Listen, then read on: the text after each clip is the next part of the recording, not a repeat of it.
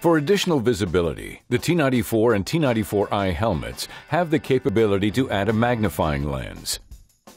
To install the magnifying lens, start at the bottom of the lens and slide the magnifying lens into the helmet retaining brackets. Miller magnifying lenses are available in various strengths. For more information on Miller welding helmets, visit millerwelds.com slash helmets.